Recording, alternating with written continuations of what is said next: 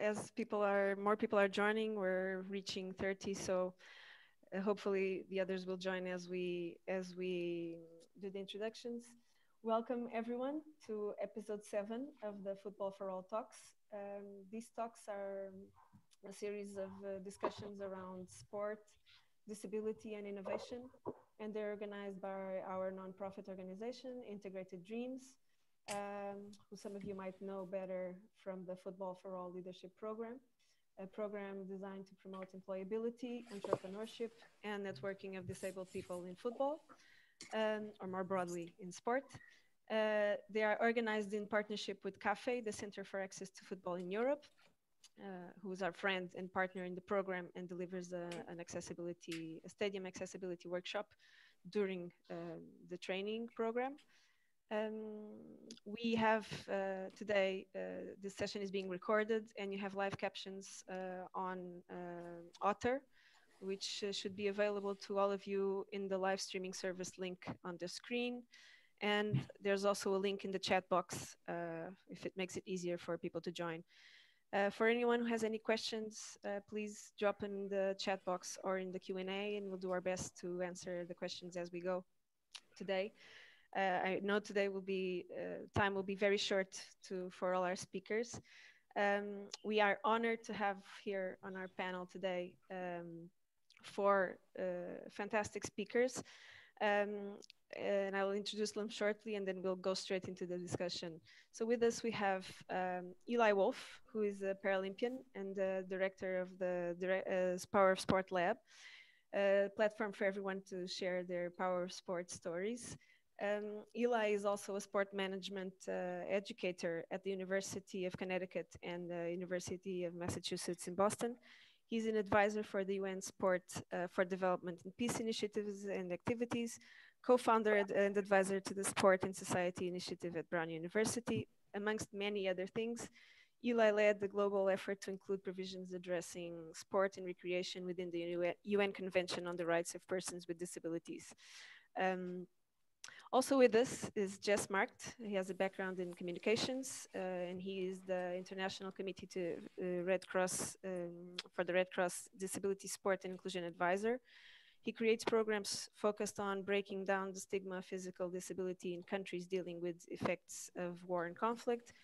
Jess has also worked with the, Red Cross um, physical rehabilitation program to build and develop wheelchair basketball and other disability, disability sport programs in several countries. The only female uh, speaker on our panel today, but I couldn't think of a better person to represent our gender. Uh, we have Joyce Cook, who is the who is FIFA's first Chief Social Responsibility and Education Officer. Uh, Joyce has held uh, senior management positions at FIFA since 2016. Before that, she was CAFE's founding and managing director and had also senior roles in other organizations promoting equality in the UK. And finally, we have Kush Kanodia, uh, an award-winning advocate and uh, social entrepreneur. He's an advisor and also has senior roles in many charities, nonprofits, uh, and in the NHS in the UK including uh, in organizations that have been our guests here in these talks, um, like CAFE or the Global Disability Innovation Hub. Uh, you can add any, the, any to those, uh, Kush, if I missed any. Um, he's the current Chief Disability Officer at Kaleidoscope Group of Companies, uh, companies that are working to promote inclusion of disabled people um, in many interesting ways. Uh, look it up. Uh, he's also an ambassador for Disability Rights UK and was a torchbearer for uh, the Paralympic Games in London in 2012.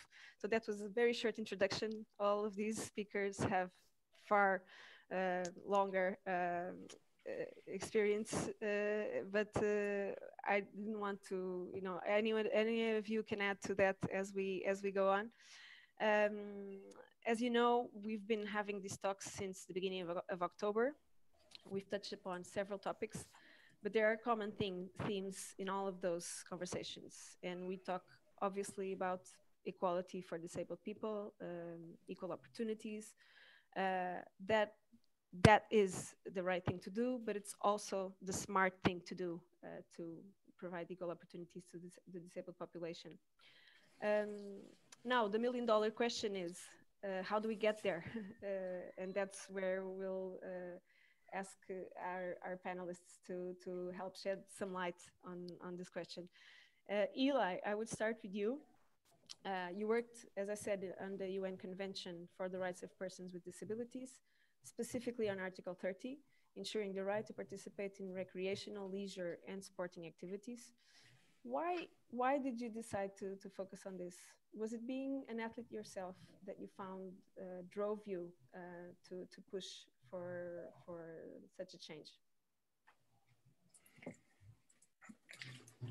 Excellent. Well, thank you so much for uh, having us, this amazing panel and conversation today. Um, yeah, just to jump right into it, uh, the Convention on the Rights of Persons with Disabilities, particularly Article 30, it really provides that uh, global framework, you know, in terms of thinking about the rights of people with disabilities and what that means, and going from kind of a medical model to a social and rights-based model. Um, and also it really embraces the whole spectrum of opportunities and, and all the diversity of disability. And so being able to put sport into that conversation and kind of recognize how the right to sport and physical activity, recreation, and play is so important for the human condition.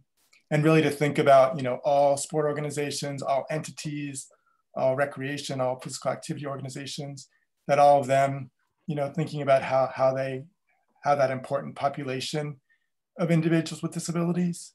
I mean, so for me, kind of coming into it and getting engaged, you know, for me, having a background and being really interested in human rights and in, interested in issues of inclusion, um, having the opportunity to work on the on Article 30 and collaborating with so many people around the world, yeah, it was a really amazing opportunity. Um, but also just at that time, it was really interesting because right as the UN was starting to do more with sport broadly, it kind of was able to bring in disability into this broader platform that the UN is doing on sport for development and sport and human rights. So, so I think it's, it's really a powerful um, opportunity for awareness. Um, there's a lot of work still to be done. You know, there's still so much can be done, but I think that having this kind of pie in the sky, this benchmark, this framework, it, it's really useful um, you know, for, for everybody around the world to realize that this is, this is not just kind of the a pity story. This is not just, oh, feel bad for people with disabilities, but there is this kind of rights approach and recognizing that, that people with disabilities have a rightful place at the table, particularly within the sporting and world. So, so that's just a little bit of that, but yeah, it's, it's kind of provides that kind of starting point.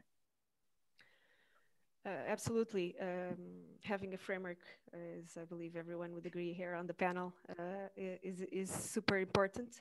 Um, probably as an athlete yourself, you saw, you know, the, the social and uh, health benefits to, to participating in sport, uh, in your case, in, in team sport, um, and how that could change everyone's life, abled or disabled.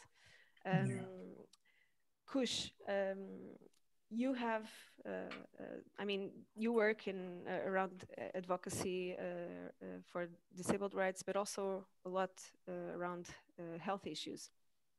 And the ties between, as I said, health and sports is are numerous, either for recreations, recreational sports or for competition sports.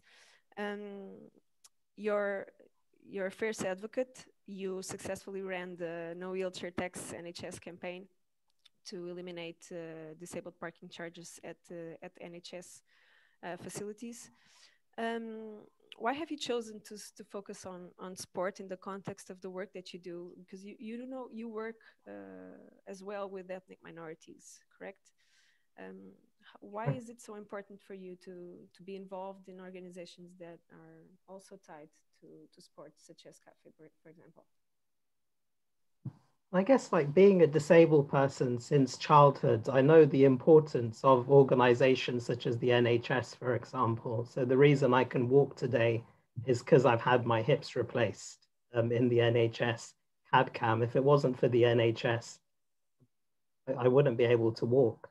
And I know the benefits and the power of sports um, through being a torchbearer and by going to football games.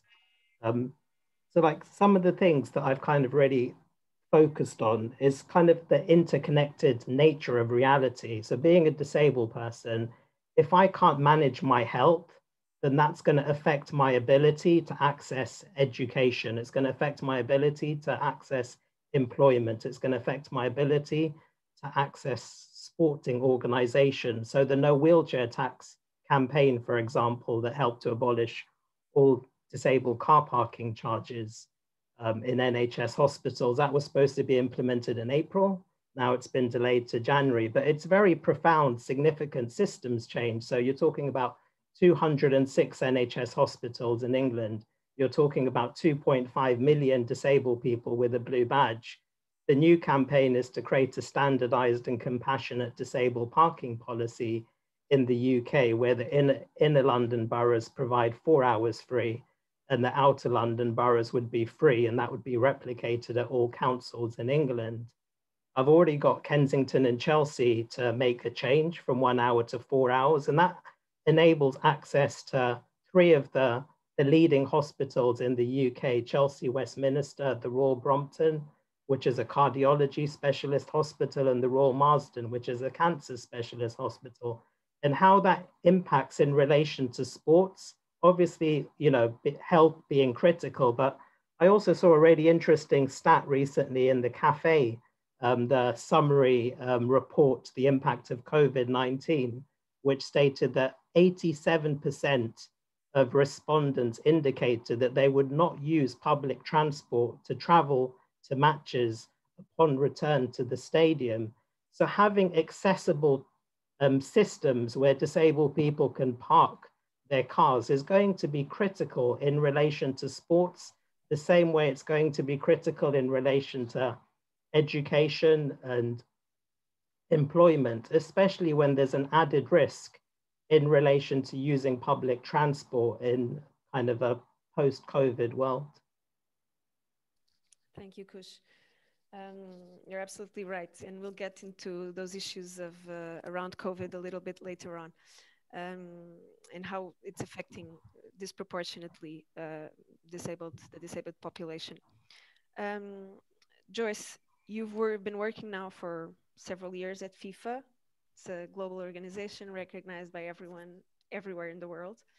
Um, FIFA has some well-known initiatives uh, around promoting diversity uh, and anti-discrimination. The FIFA Diversity Award. The Russia World Cup was recognized as the most inclusive um, I would say not only World Cup, but football event uh, around the world, uh, soccer for those uh, listening across the, the ocean. Um, you've also published uh, the FIFA World Cup Sustainability Strategy for Qatar. Uh, could you tell us a little bit more about what you're doing in right now and what you're working on uh, moving forward um, to harness this power of football for good? Th thank you very much, and thank you for the opportunity this evening. And, and I'd like to reiterate, as, as Eli said, you know, it's a great uh, panel. We're experts. Uh, you know, we live and breathe um, this issue or, or, challenge day to day in our own personal lives, as well as uh, understanding the context in all our different uh, ways and means. And, uh, you know, I think there's several things, maybe, I don't know if you're going to pick up on these a bit later.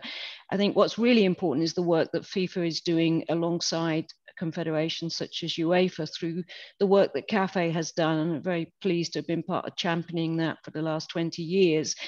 Because one of the things as sports we were forgetting is that actually, if you don't have accessibility, and as, as Kush has just uh, referred to in regards to healthcare, in any context, for most disabled people, that's a barrier before you even start. And it is not easy in most cases for disabled people to be spontaneous. And that's when we have real inclusion and equality, when spontaneity of whether you go to a football match or whatever it is, um, is just a given. And we're a very long way from that. And we're kidding ourselves if we think we're not um, across the world. And I think the work that we as FIFA do in regards to making sure our tournaments are properly accessible, and that's an ever ongoing journey of, of including other areas such as sensory rooms, such as changing places, toilets, and so on, um, it has to continue.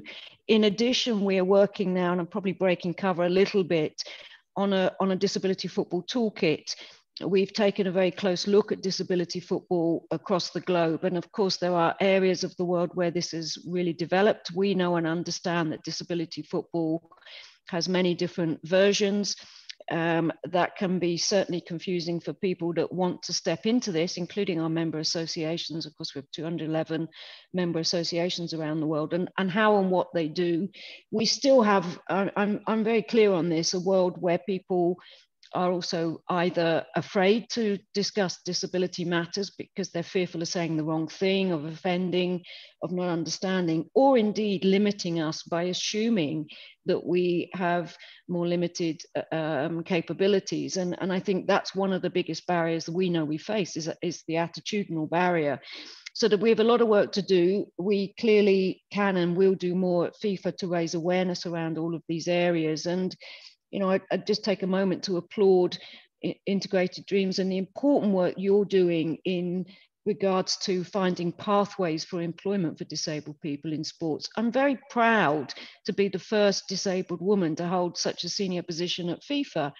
I hope and pray by the time I retire, I am not the only senior person in such an administration role in sports. And I know there are one or two others, and there are amazing champions, but we've tended to focus on the uh, the playing aspect, which of course is crucially important for all the reasons we've said.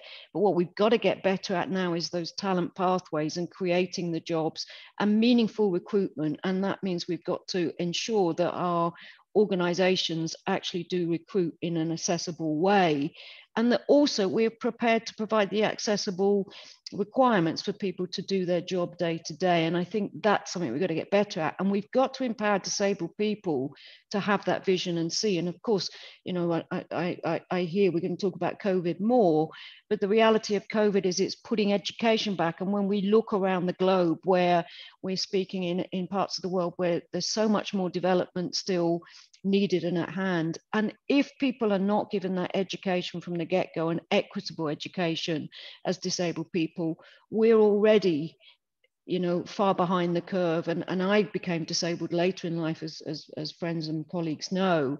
And it was an absolute shock to me at how different it was. And i'm, I'm also a gay woman and you know i don't like to compare.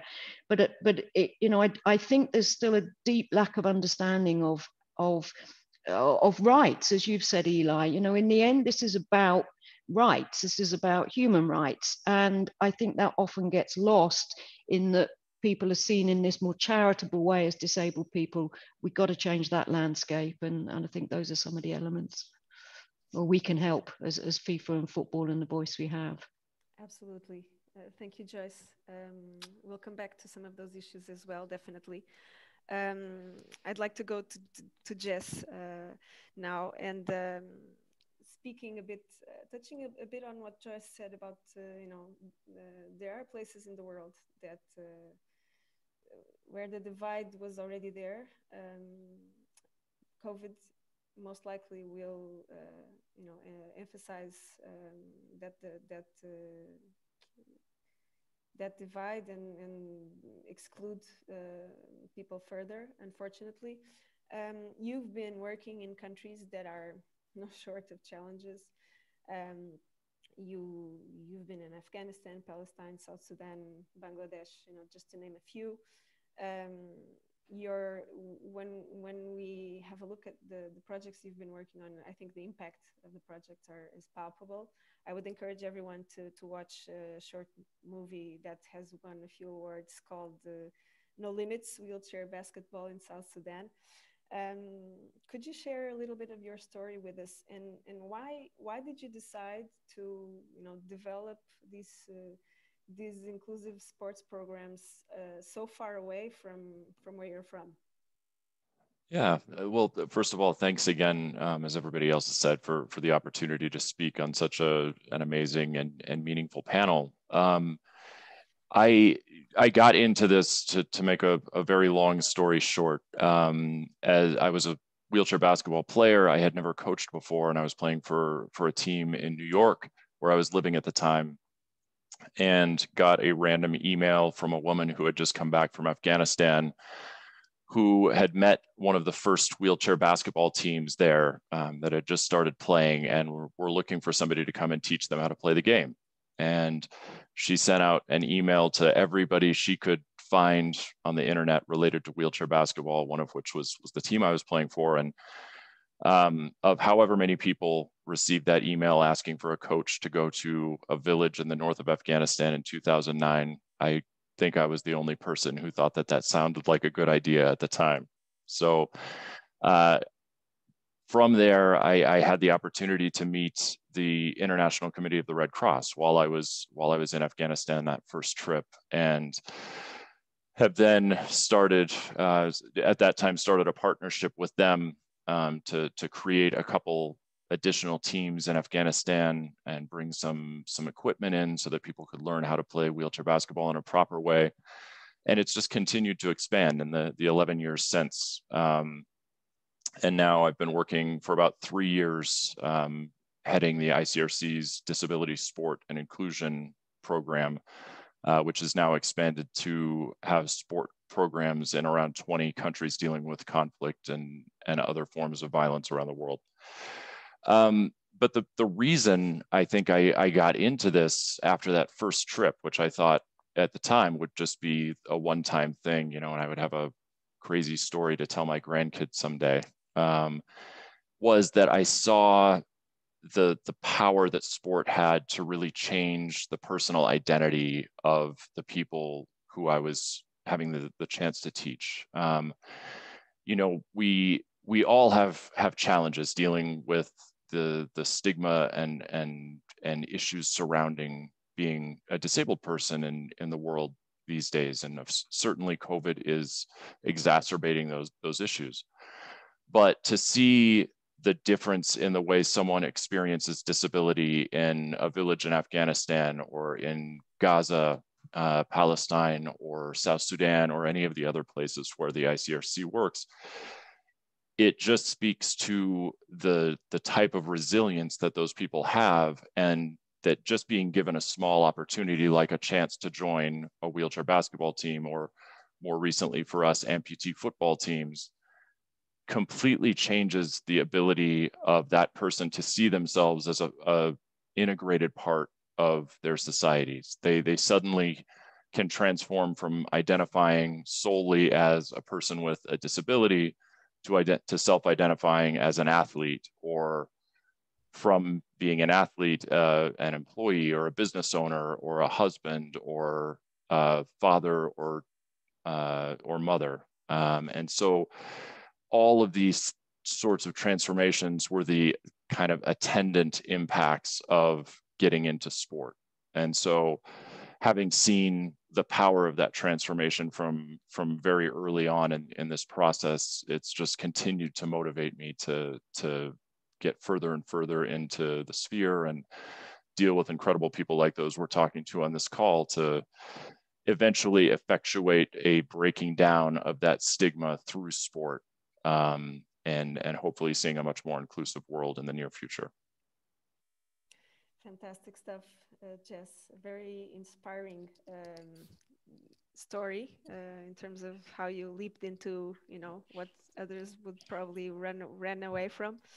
Uh, we, I mean, as I said, looking at the the, the short movie, you can actually can almost feel uh, the impact that your that your the, the, the program had on those uh, those wheelchair basketball players.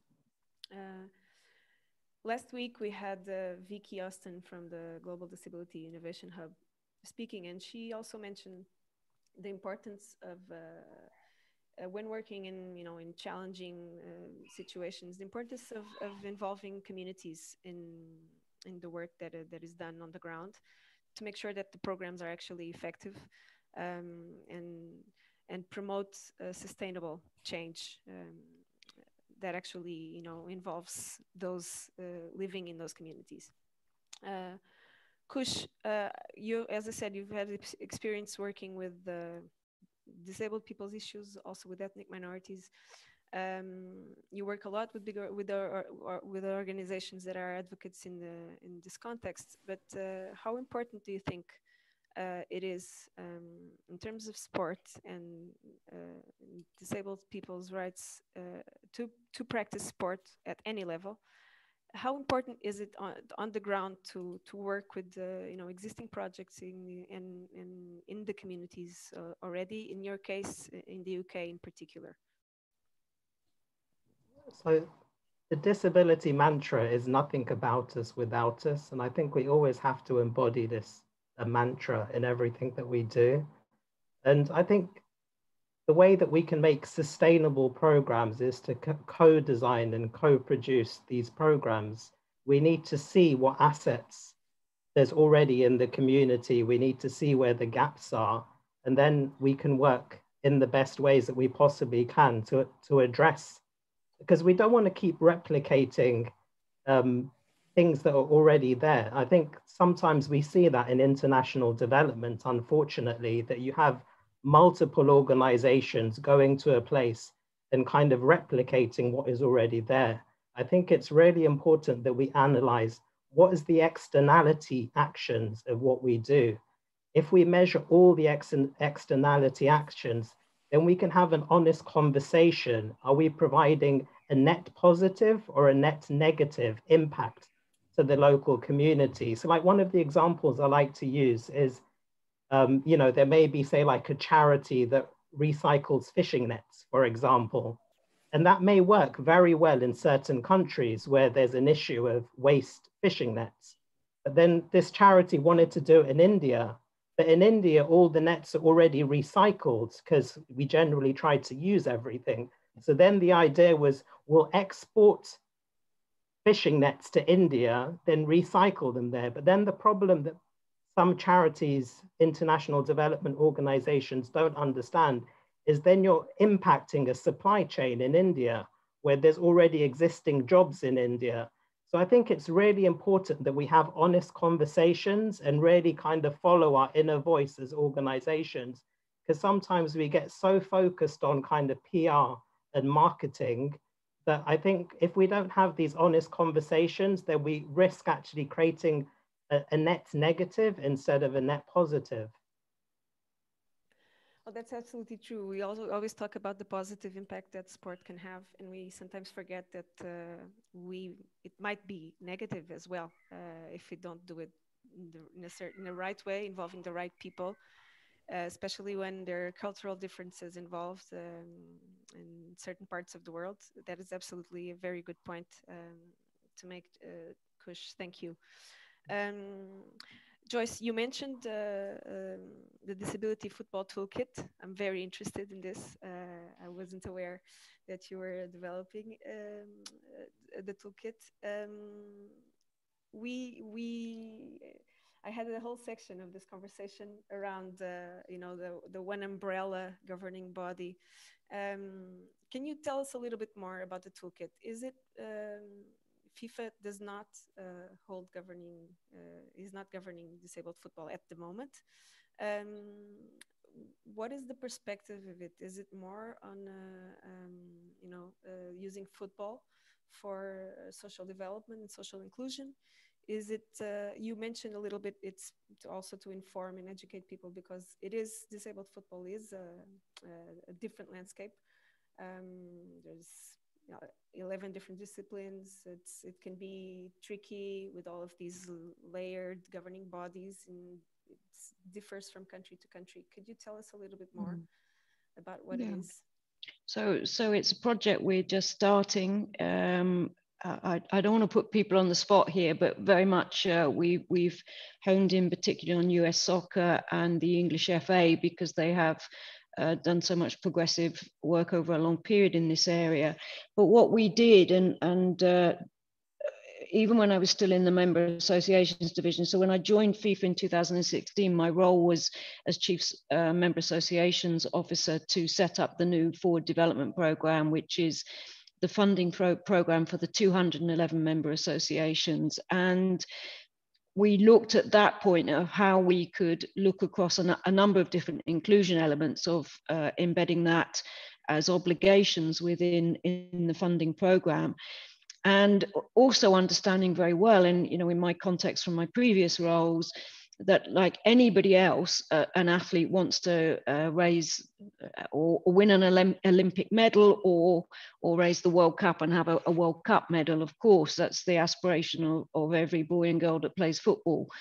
And um, in that context, we undertook a, a, piece of work to look across our 211 member associations because everything we do has to be in a coordinated response with the governing body of them and where disability football in particular was up to. And there is a massive chasm, as, as of course we know, uh, across those 211 members. It's huge. You know, we can turn where there's really good developed work and the NGOs that, that have their own versions of the World Cup do an incredible job. And there's roundabout from our last look about 78 countries that are in, in at least some of the disciplines have have have their version of a of a of a World Cup tournament, and it's something we would like very much as FIFA to step into, but it has to be in a context where there's a broad stretch. And of course, if we look in Europe, there are more developed countries if we look to North America and parts of South America, but there are huge gaps in between. And encouraging our members to step into this area, what was clear is that for some, they certainly would like to do so, that they didn't know where to start, they didn't know which NGOs to speak to. Um, some are still seen this very much in a charitable sphere of doing the right thing for disabled people. And of course, this is um, elite football at the highest level in disability football. So what we've understood is we've got to be able to bring some more parity around the world before we can seriously talk about FIFA World Cups, disability football World Cups. It's an aim we want to have, but until there's a more uh, equitable balance across the globe, we're not in a position to do it yet at a, at, a, at, a, at a governing body global level. That doesn't mean we don't have an appetite for it, but first of all, we've got to get this part up and running. And, you know, if we're really honest in this platform, because we can be, because we're talking together as disabled people, there is a mixture of NGOs within certain disability football that don't get on together if we're really honest about it. And that's very difficult for a member association, a federation, for a sports governing body to find a meaningful way forward. So I think as disabled people, and I was very familiar with this, if I can take my FIFA hat off, and that was one of the things that um, certainly when I uh, came to level playing field and we founded CAFE was to say, if we can't work together, as Kush said, we're not going to have much chance to to convince the rest of the world. So I think it's really important we do that. And what the toolkit will do is introduce member associations to a number of ways they can support disability football. And it might be they are working with the established NGOs. And I think that's probably the best way to build capacity with their expertise. But of course, that's going to take some resourcing. And in addition, to understand that if you have a weekend uh, um, festival of disability football, that doesn't necessarily mean that you're actually doing something sustainable and meaningful for the long term. So helping members to understand a much more progressive way forward. And there's been some great work in that we know as well already and we really want to add to that. But we want to add value and we have to start by building the capacity in all two well not all 211 but the majority. And once we get a, a, a sort of critical mass then we can have discussions at FIFA about perhaps setting up a disability football unit and, and something more meaningful for the long term. But that's got to be the first protocol, and that's what we're aiming to create. And I don't want to. I can see I can see Stuart on the call. I don't want to put people under pressure. Um, and but you know it is what we're going to do, and we're asking the NGOs in disability football to please work with us through that platform because we, we really want to come up with something meaningful and reach out to them, but in a coordinated way. And Eli's uh, already, I don't put Eli on the spot as well, but we've asked Eli to, to step in and help us as well in that regard. And uh, it's great to, to meet J Jess today because maybe we should uh, we should we should hook Jess in as well. But that's the aim of it, so we can begin to really build meaningful global capacity. That's great news, Joyce. Thank you for sharing. Um, uh, really looking forward to, to seeing that happen. And the FIFA name does carry some weight when you, mm. you if you are the ones who are, you know, pulling people together uh, to move forward. I'm sure that will have uh, mm. um, uh, an impact. Um, Jess, I, am curious about the way you run your programs on the ground, um, involving all of these moving parts, communities, accessibility challenges, access to equipment. Um, in this perspective of uh, you know using sport for good, uh, changing uh, people's identities, also changing perceptions at the same time. How do you how do you coordinate all of these moving parts in the sense that you're building disability sports programs in countries that might have some structure uh, there, might have might not have uh, you know governing bodies, etc. How do you set up these programs uh, in order for them to actually develop into competitions, allow people to then participate in at international level? Um, you know, competitions.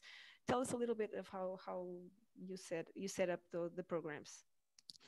Well, it's a really good question. And the answer is it's a bit different in each place. Um, so, as you said, in some of the countries where we operate, um, there are structures in place. There are, let's say, national Paralympic committees, or even in some cases, um, local sport federations um, that are that are sort of set up to help to promote um, one or more disability sports the the challenge that we try to help alleviate is to come in and help with a you know access to equipment um, b accessibility um, where we can in terms of making sure that playing facilities are accessible to people with different mobility impairments um, which is a obviously a, a, huge issue in, in many of the countries where we work.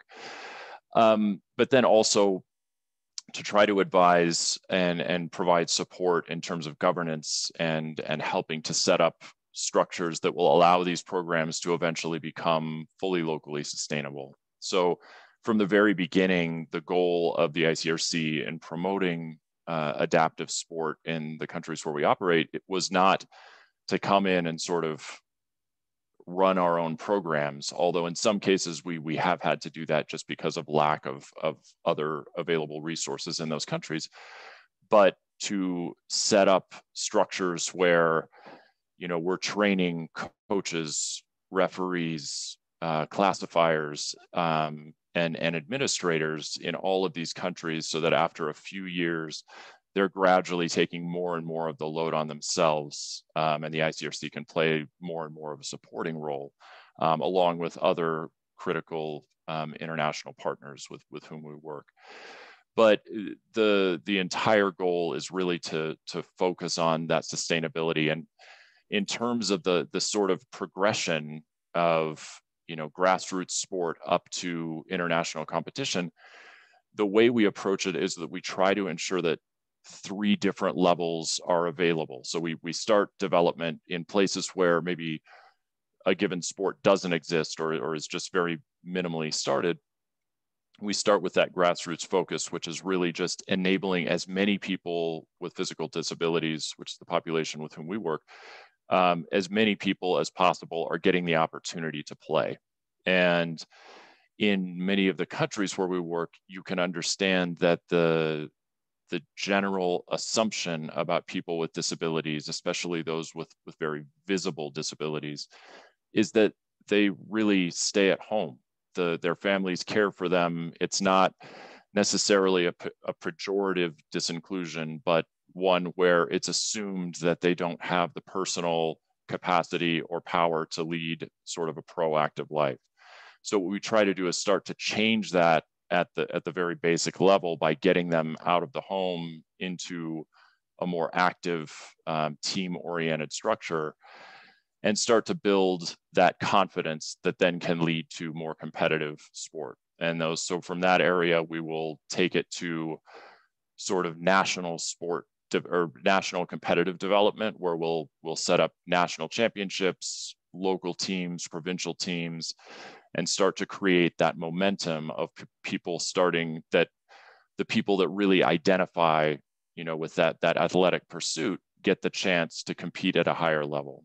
And then once that's developed we start to move into the international level and take you know the really committed um, talented motivated um, athletes and give them the opportunity to represent their country on the international stage and uh, I think it's so critical for all three of those components to be in place because if you, for instance, focus just on the grassroots element, then there's really not that that striving of the players to to reach that next level. They they don't get to see sort of the the example of their their heroes at the the national or international level reaching um, those great heights. And so that that is motivation and as well provides a lot of visibility for the broader community into the power of, of adaptive sport and the talent of these athletes and what they can contribute not only as sports people, but also in broader society. So we just try to create programs that lead to sustainability and incorporate all three of those competitive aspects as well. That's great. We've been having over the sessions, and I know that some of the participants in those sessions uh, are here listening today as well. Some questions regarding, you know, in, in countries where the sophistication is not there yet, uh, how can they start to set up um, programs that uh, promote inclusion through sport? Uh, and there is a, an, a, an eager an eagerness there uh, to yeah. participate in, in global competitions.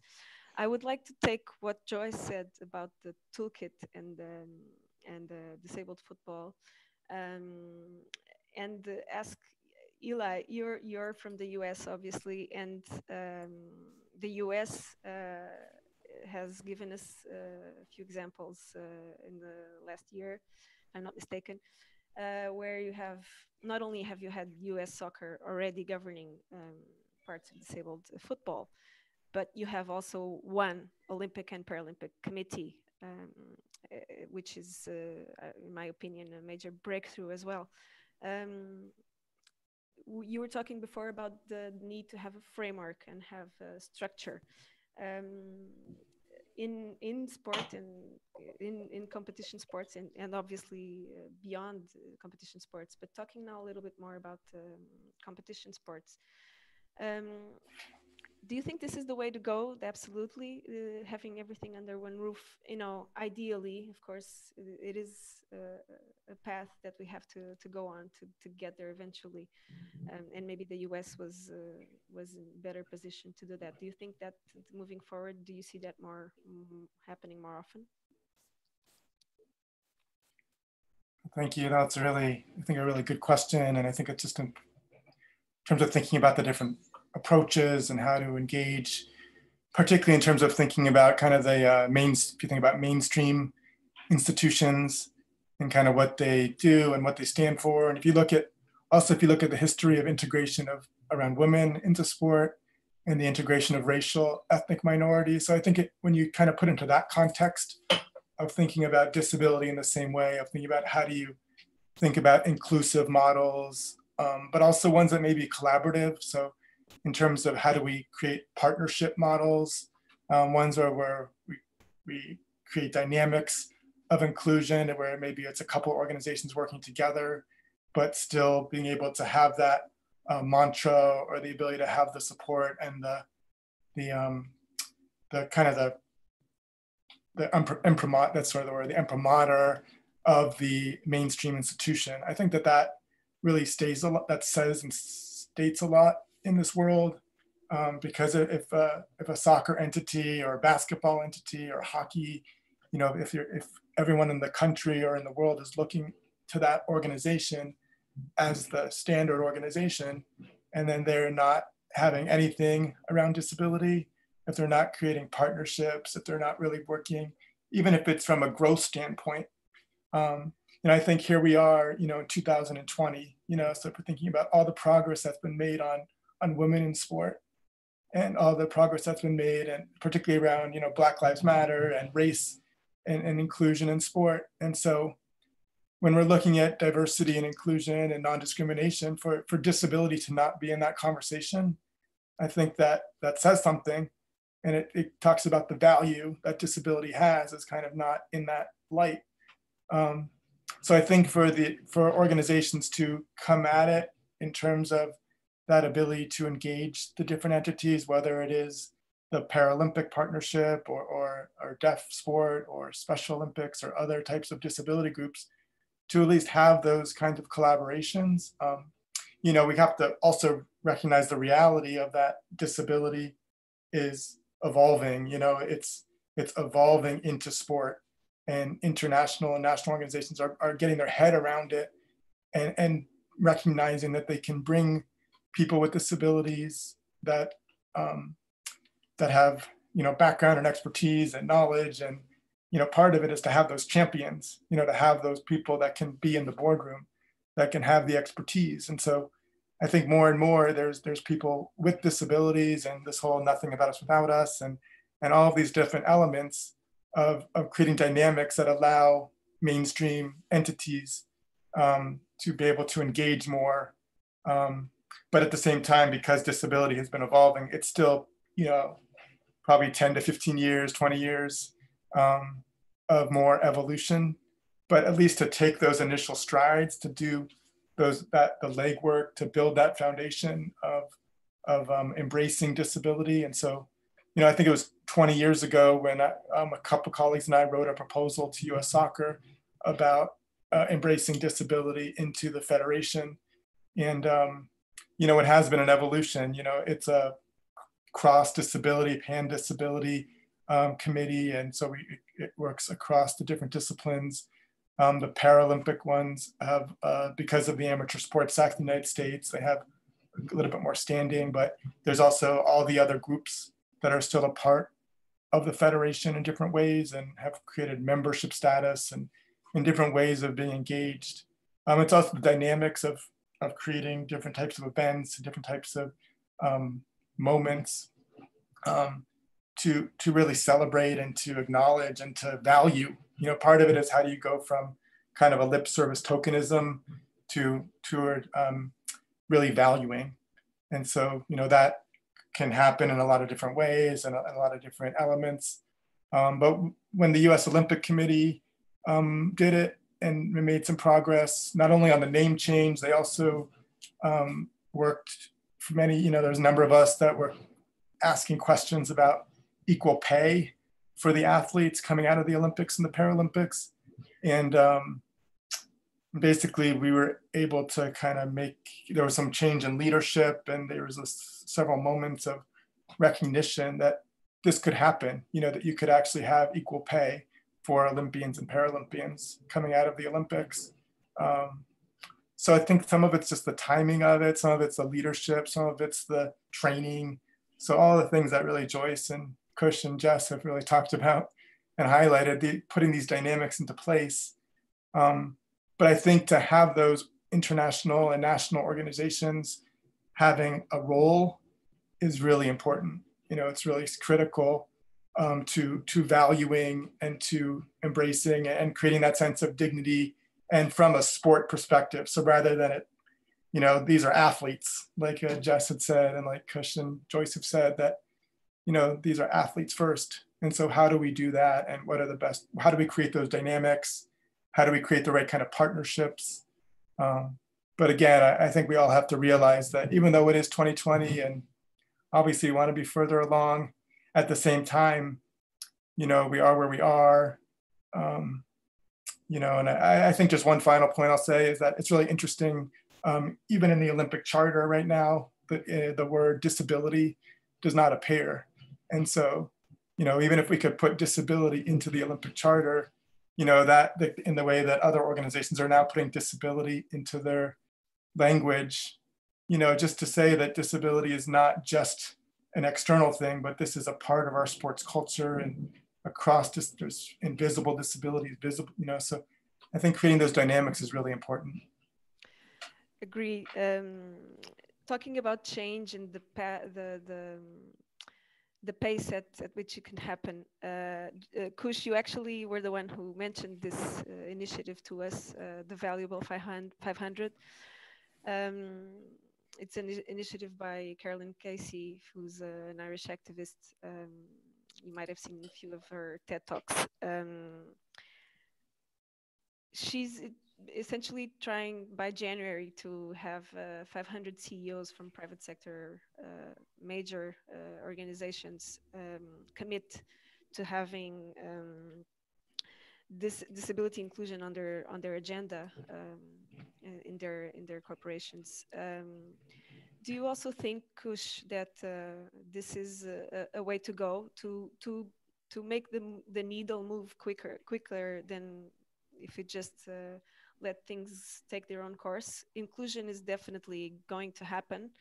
but if we don't push for it, it will take uh, more than our lifetimes, uh, times, a few times, uh, for us to see real change. Do you think that initiatives like like the Valuable 500, where you put you put you know big companies, uh, you ask them to commit um, to some level of uh, of change within the organization and perhaps within their distribution channels, etc.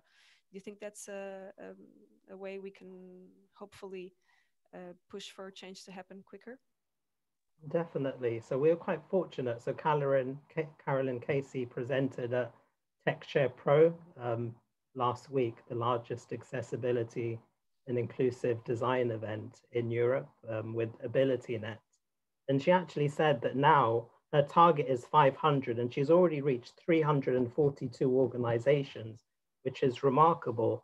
But to me, you know, the key aspects, it, so Valuable 500 was launched in Davos, I believe, last year, and it was the first time disability inclusion was center stage.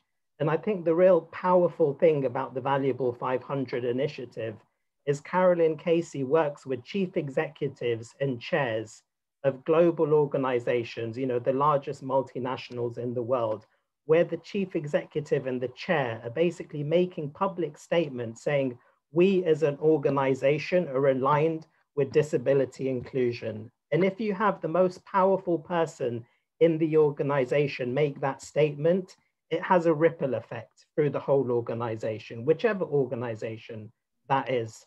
Another key component of that um, for organizations that sign up is that it will be discussed at board level. So rather, one of the problems we have with disability is generally it gets pigeonholed into DNI, into HR. And if it's pigeonholed into a small sector within the organization, we're never going to have transformative change. So one of the key things that I really like that Caroline Casey talks about, we need to move it out from DNI and think about it as sustainable change for the organization. And I think that's really critical, especially in, in, in the day and age that we are.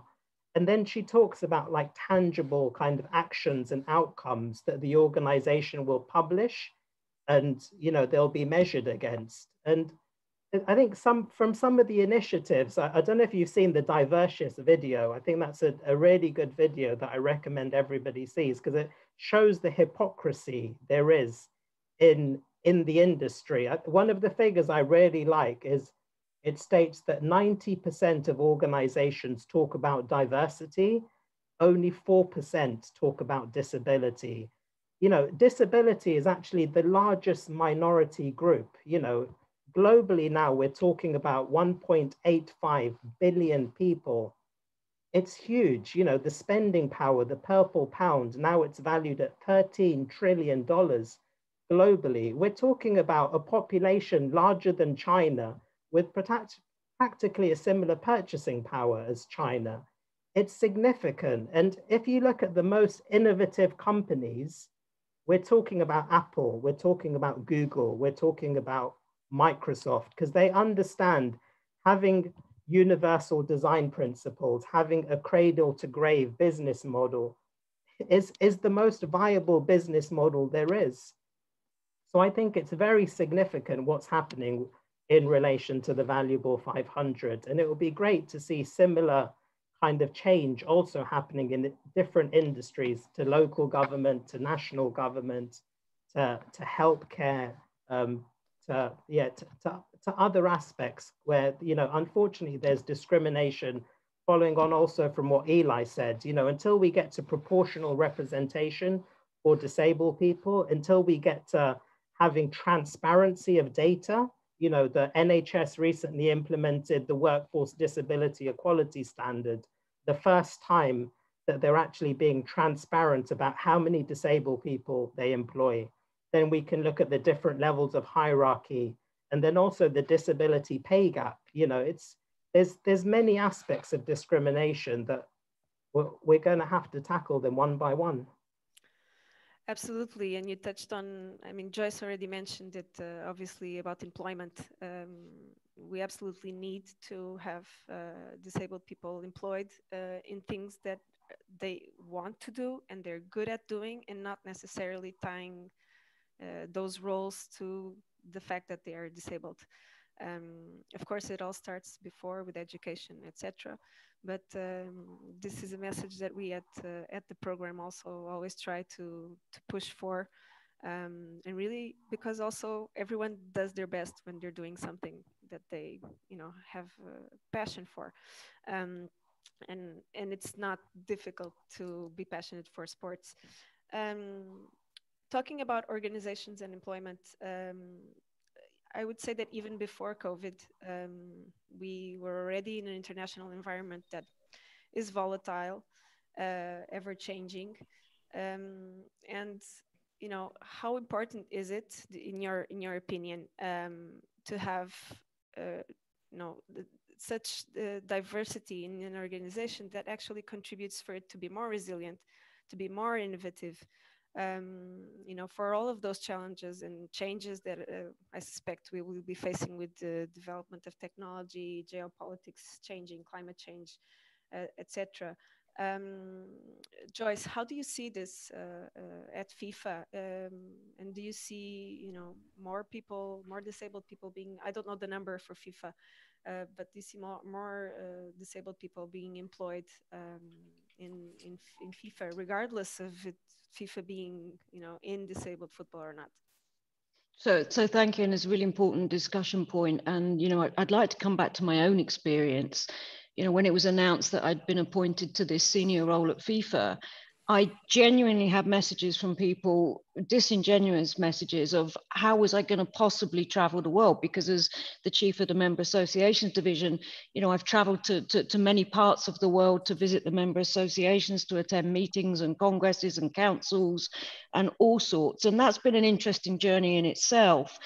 And, you know, as a disabled woman, um, what was interesting is the mobilization in you know Rwanda, Ethiopia, Thailand, all these different places around the world, and ensuring a level of accessibility for me as one of the uh, senior management traveling to to events or indeed visiting member associations and visiting their projects. And it it was sobering to have a number of things happen. One people questioning how I could be appointed to such a bit, uh, position and was it tokenistic?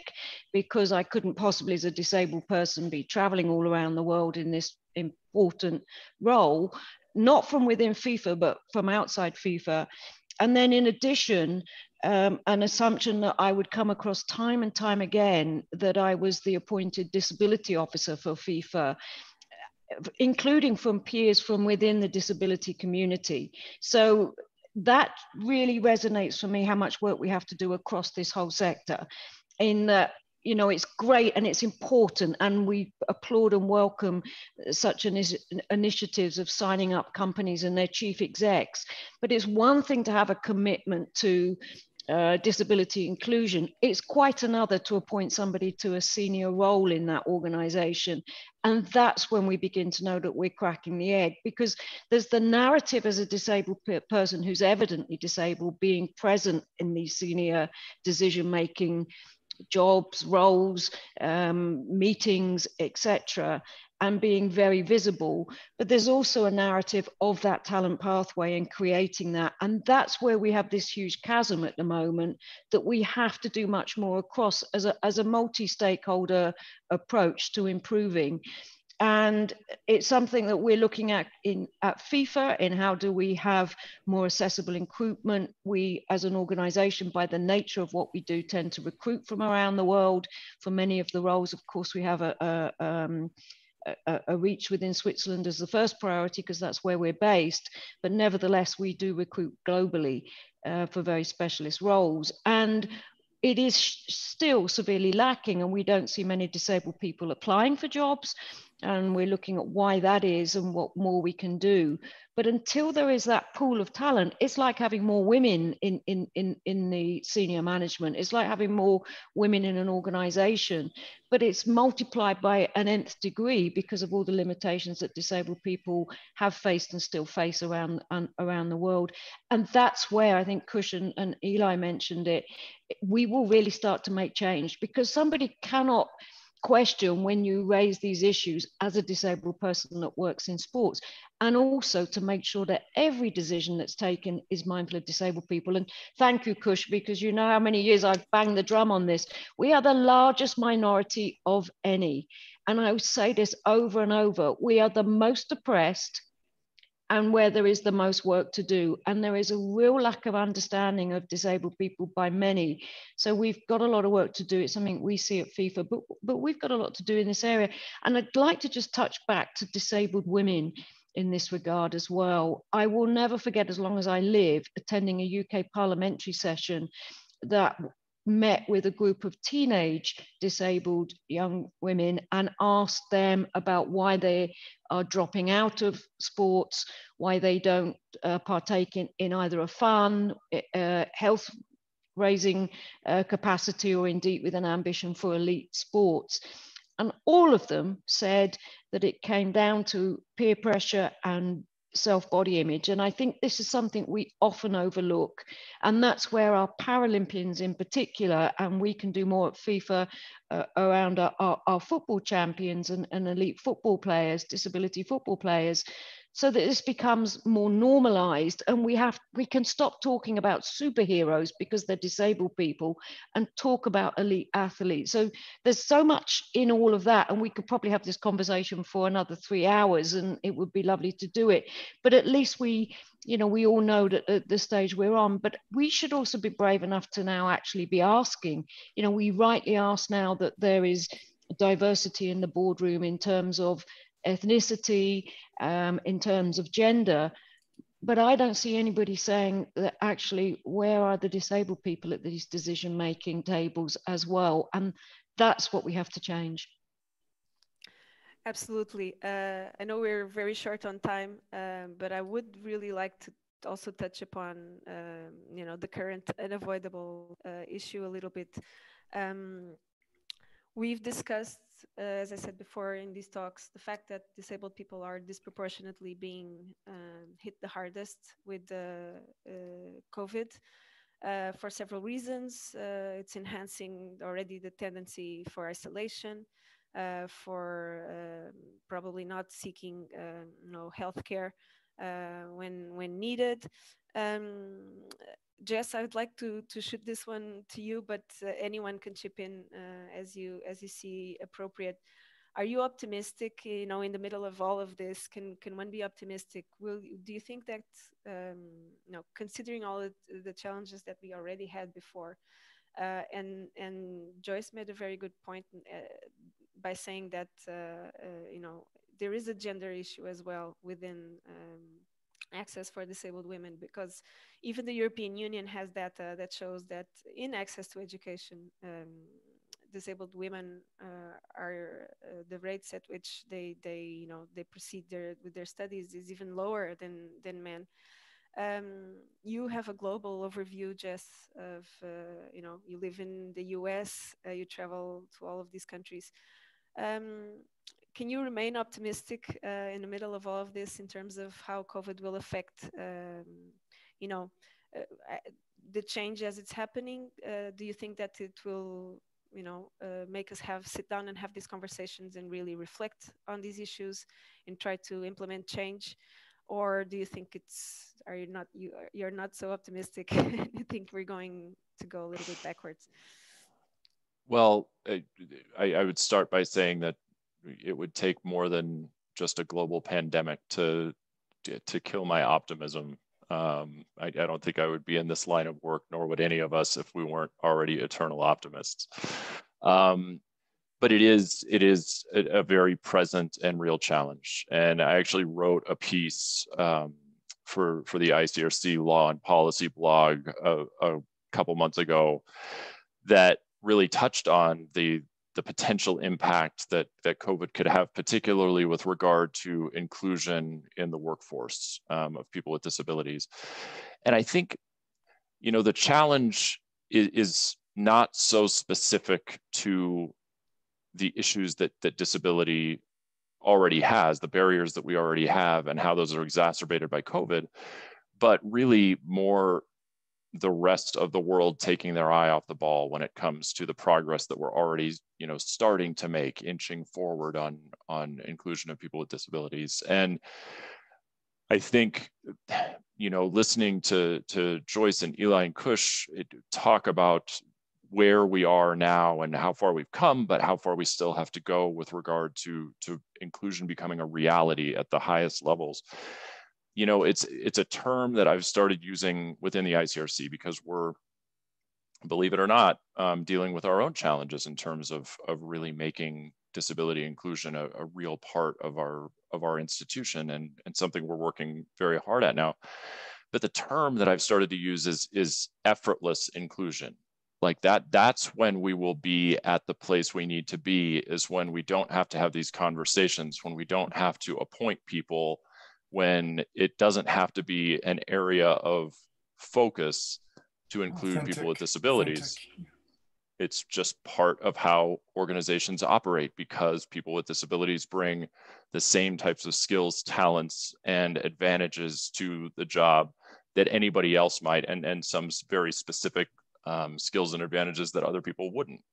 So I think that there is still plenty of room for optimism. Um, and I, I, do think that, you know, COVID hopefully will be a, you know, a temporary barrier that, that we're dealing with and, and that we can sort of get back to building that momentum. But the issue is always about keeping everyone's eye on the ball and, and on the importance of continuing to focus on on this progress so that eventually we can still get to that point of, of effortless inclusion. Absolutely. We we have at the at the Football for All Leadership Program, we have a kind of a, a privileged position that we are sitting uh, once a year with a group of people who have, you know, different disabilities. Um, some of them have common issues, but some of them don't have common issues at all. And it's um, it's uh, it's like a working group of uh, ideas where we can, you know, uh, every every single situation we hear something that we hadn't thought about uh, before. We're constantly learning um, to improve. Um, eli i don't know if you wanted to to add something to yeah that. yeah. Go ahead. I was just going to add briefly just about um, yeah i think that effortless or authentic um, which is great. No, i think that's really essential important. I guess I, I wanted to speak for just one minute about um, the reality we're in and um, I guess one of the things that I think a lot about is just the notion of adapting and resilience, and the fact that this time is helping us become more aware of those things. And I think that that reality perhaps allows the world to think more about disability in a different way, and the notion of having to adapt. Um, I guess that's one thing. And then the second thing has to do with mental health, because I do think that the reality that we're in is really stressing and becoming more aware of mental health issues, which is also in the realm of disability. And so I think that we're all in our world becoming more and more of the mental health challenges and the mental health, um, knowing we have to take care of ourselves, we have to take care of each other. And so I think that those elements, I think, are perhaps going to be uh, moments of awareness and maybe help for the tipping point. Um, but I just wanted to share those two thoughts on the question. Kush, please. Um, I, I just wanted to give some of the stats from the UK because it's been it's been it's been a disaster for disabled people if I'm just completely honest. Like three fifths of all COVID-19 deaths in the UK have been disabled people. It's such a shocking statistic but equally shocking is the lack of media coverage so like I'm, you know, I've got the intersectional aspect of being BAME and being disabled. So sometimes I, and both groups have been disproportionately impacted. So sometimes I analyze, it's good that we're addressing, we've had reports in relation to the disproportionate impact for BAME, but why isn't disability mentioned? Why are we not investigating the same aspect in relation to disability? We've recently reached the grim milestone of 70,000 deaths so approximately, we're talking 42,000 disabled people dying in the UK. The Coronavirus Act of 2020, it actually breached human rights for disabled people in the UK, suspending key protections in the Care Act, the Family Act. You know, we had people with learning disabilities in the UK having do not resuscitate put on their hospital beds with little or no consultation. We've had we've got statistics in the UK for people with learning disabilities aged 18 to 34 are 30 times more likely to die from COVID-19. And you would have thought, like even if you look at the campaign that I started, the no wheelchair tax campaign, that was supposed to be implemented in April for, for all the NHS hospitals in England. They've delayed it till January, but they still actually haven't sent NHS hospitals implementation guidelines. So I'm worried now they're going to be delaying it again. So a simple kind of systems change that will help to save disabled people's lives. Now I'm talking to politicians from the Tories and the Labour saying at least let's implement the disability element of the Tory manifesto, which was also the Labour manifesto. There's, there's a systematic violation of disabled people's rights in the UK. And just following on from your question, what I see happening is I see inequality for disabled people who have access to finance, who are digitally included. This, yeah, will be able to survive, there'll be opportunities. But for the disabled people who don't have access to finance, who are digitally excluded, as more and more of our products and services go online, so the NHS now is trying to discourage disabled people high risk going into hospital. They want to set up Zoom calls, but currently they're not thinking about the digitally excluded. Actually, so it, I ha had it recently with my mum, a physiotherapy appointment. I could set up my mum on Zoom. She never uses the internet. She doesn't have email.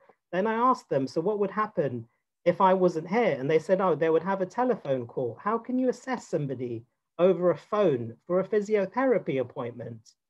You know, the, the system needs to recognize there's lots of digitally excluded people. It's not just good to go to digital first model, but we need to have a systems and integrated approach. Otherwise, we're going to have so much inequality. Sorry, I just wanted to mention that because it, it, it really frustrates me. Please, Joyce.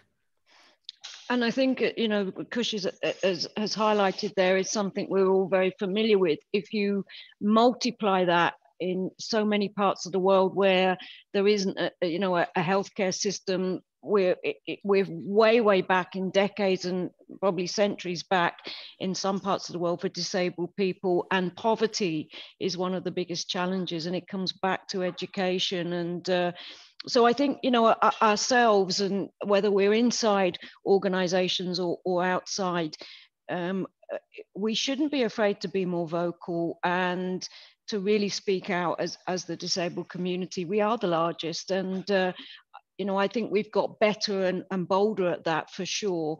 Um, but I think we have to get more so uh, across the elements, and it always comes back to having people who are themselves disabled involved in all of these elements because that's when real change happens. Because if you're living breathing you understand as a disabled person you understand what's needed and needs to be integrated at every step. And this is where it gets dropped off you know never uh, without us. It, it, it couldn't be further from the truth.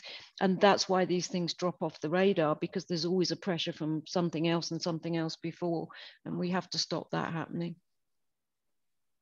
I don't know if, if anyone else wants to, to add on that. Uh, mm-hmm. we we absolutely uh, agree. Uh, obviously, uh, I, I agree with you all 100%. Unless unless and until you have disabled people at the top, um, it's it's not that it's not an important issue, but other other urgent issues will seem more important to to mm. people who are mm. the decision makers um, and uh, and the way that we engage the way we engage the media yeah. and the, the press and how you know just like christian joyce said in terms of and jess you know just to, to create more awareness and to create uh, you know just more information and more knowledge and more kind of engagement really um, because it just to get to that tipping point that critical mass that it becomes a really relevant, important issue. And it is, we all know it is, but then I think it's that fear factor, the stigma, and continuing to get beyond that with different types of messaging, with different types of stories. And I think it's just a matter of continue being persistent. Yeah. Mm-hmm. Absolutely, and uh, our jobs obviously is to shed light on on uh, these issues, on uh, you know, on empowering uh, people to um, to speak up and to self advocate, but also uh, to organize. Um, we've heard in a lot, a lot of these conversations that uh, there's sometimes because of maybe that that lack of you know energy um, to to speak up or to um, you know to get out uh, of, of, of, your own bubble and not in the sense of getting out of your you know physical space uh, only but talking and reaching out to other people as hard as it is um, but also you know this concept of organizing and there is power in numbers and we need to keep uh, talking about these numbers. Uh, we're talking about uh, roughly one fifth of the global population. Um, and uh, as, as we had on the very first talk we had uh, around accessibility, um, and Kush said this as well, we're going to go through a, a, an economic uh, um, you know, struggle. Uh, we're already we're already going through it, and it's going to um, get a little bit worse before it gets better. There is there is uh, power there in the disabled community to help in that economic recovery as well. So if we think about the numbers, uh, it's not only the right thing to do, it's also seems to me that like the smart thing to do um, uh, to to focus on on you know such a big part of the population that is there um, to help um, everyone get back on their feet um, when we are in a position to uh, to leave our homes and uh, and and be out there in the economy in a physical sense, not only uh, in, a, in an online, online sense. We are uh, very much over time. Um, unless uh, uh, any of our panelists would like to add anything uh, to what has been said. Joyce, please go ahead. I just want to say a big, huge thank you to the work that you're doing at Integrated Dreams because it's so important and and and everybody involved, Kush and, and Eli, everybody, Jess and and and I can see so many friends um, on on the stream here that uh, you know all the great work you're doing and and we have to keep that loud voice and and, and keep pushing forward on all the fronts and uh, we mustn't get forgotten or lost behind because of COVID, which is a is a, sure uh, a, a, a danger that that will happen. And we just need to be bold about it. We've been quiet for a while. And you look back to the early activism of disabled people, maybe we need to energize some of that again. And there is great, uh, great energy, but it, we need to perhaps get back to some of that energizing and uh, ensuring this is on everybody's platform. And there are some great disability uh, advocates, journalists themselves that we know are present, but we probably need to encourage more of, of that as well. And uh, um, yeah, maybe we can try and mobilize some of them to come together in an international context, because I think that's where the real strength will be, making this an international context as much as we can, and all the work that's gone before and needs to come. Absolutely, catching that train that Eli was mentioning of uh, mm. the conversation around inclusion and mm. Black Lives Matter, and uh, mm. the, which is global at the moment. Mm-hmm. Uh, Kush, I wasn't sure if you were raising your hand. Uh, you wanted to add anything? Yeah, I was just going to say that, like following on from Black Lives Matter, I think it's a really good kind of example for a movement that for people of color, you don't even need to be black, quite honestly. And sometimes there's so much wonderful work going in happening in relation to advocacy and disability rights but sometimes i feel it's quite fragmented that there's really good work happening here and happening here. But it feels as though we don't work collectively. If we worked collectively you know you're talking about one quarter of the world's population you know like a disabled lives matter movement then the, the world would change like in in the same way the world changed very quickly after the Black Lives Matter movement. I believe we need to, like Joyce was saying, and Eli and Jess, that we, if we have that collective movement as one unit supporting each other's campaign, we've created systems change. We're, we're, we're too many people for them to ignore us. It's as simple as that. 100%. Uh, Jess, I think we're seeing in, in a fashion and in the entertainment industry, some of these things happening. I think that maybe to kind of look at what's happening there and building those collective actions across the board. Yeah, no, it's been a wonderful conversation. Thank you so much. Thank you, Eli. Jess. Yeah, I, I couldn't agree more. And I, I think the the point that, that you're all making is so important that, you know, trying to coalesce all these disparate efforts that have been sort of on the fringes for so long um, and pull them all together to become something truly mainstream um, is is where the power lies and and I, I see that momentum happening and I, I'm so proud to be a part of of a collective that I think is really going to make, make real fundamental change in the world. So thanks to all of you. Thanks right back at you. we could talk all night, Joana. I know, I know. I, I will have, I will have you all night, mm. but I know we all have to go. Um, thank you so so much, everyone. Uh, I know you're all really busy people, and uh, you know, zooming uh, nonstop.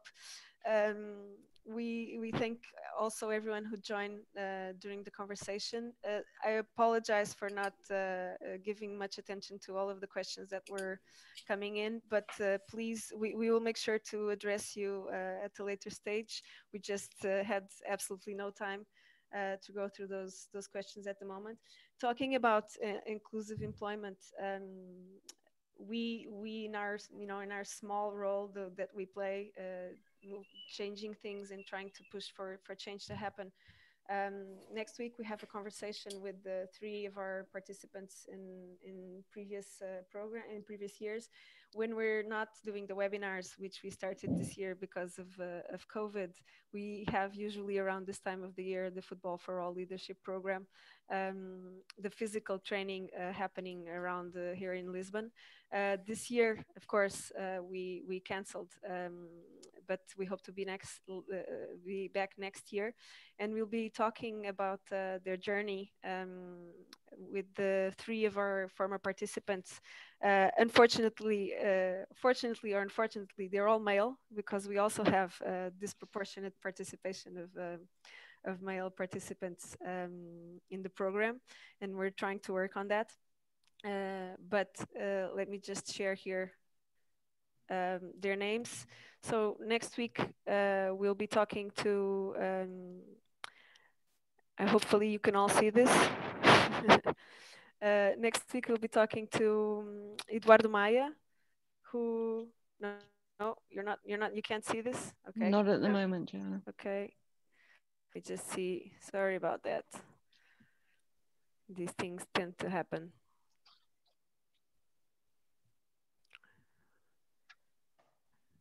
Can you see it now? Yes, we can. Okay. Aha. Oh, now we lost Joana. It was there, then it vanished. I think, uh, I know there's Joana. We, uh, we, I can't hear you, Joana, but we, we did see that, and uh, Sorry, technical issues. Yeah. Uh, I'll just uh, I'll just uh, remove the image now uh, to avoid any issues. So we were talking to Eduardo, who's part from Portugal, and he uh, through the program he he's a basket uh, wheelchair basketball player actually, and through the program he enrolled in an internship at the Portuguese FA, and he's now a permanent employee there with the performance health and performance unit. Um, we'll also be talking to Kieran Burns, who is the class of uh, 2019. He's from Scotland, and he's uh, kicked off with the uh, very uh, successful uh, podcast called All About Ability, uh, talking about mental health in these times. I would encourage everyone to listen to, to Kieran's podcast super interesting conversations with uh, a lot of different um, you know athletes uh, and activists um, and also Thomas Hosier, who is uh, one of our youngest participants in, in 2018. Uh, Tom is uh, uh an England uh, national futsal champion under 17, under 21. And at the age of 19, if I'm not mistaken, he launched his own company um, to to have a, an inclusive uh, summer camp, um, football summer camp program. So I would encourage everyone uh, if uh, to listen in, and if you know anyone who'd be interested in participating in a program like this, um, make sure to let them know that it's next week. Uh, exactly the, at this uh, at this time, 5 p.m. Uh, British Standard Time, 6 p.m. Central European Time. um, and, and, all available for free uh, wherever you're joining from. Uh, do shoot us, uh, uh you know, any questions you have uh, on participating um, if you're interested. Again, thank you so much to all our panelists. Um, I think this is a start uh, of many other conversations and you know definitely keep pushing for for things to change in our respective roles uh, looking forward to everyone's work uh, in, in what you're doing. Um, and we're always here to, to help uh, and make things change as well uh, in whichever way we can. Thank you, everyone. Thank you very much. Thank you, and thank you for bringing thank us you. together. Thank you. Thanks for thank the opportunity. Have, have, a lovely evening. Speak soon. Wonderful seeing you all. Bye-bye. Yeah, you too. Take, take care, care, everyone. Bye-bye. Bye-bye. Bye-bye.